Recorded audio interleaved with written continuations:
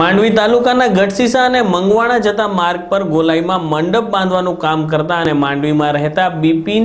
મીઠું સથવારા અને સશાંત ભલા સથવારા બંને પોતાની મોટરસાઇકલ પર જતા હતા ત્યારે મોટરસાઇકલ સ્લીપ થતાં બંનેને ગંભીર ઇજાઓ થતાં સારવાર માટે હોસ્પિટલમાં દાખલ કરવામાં આવેલ છે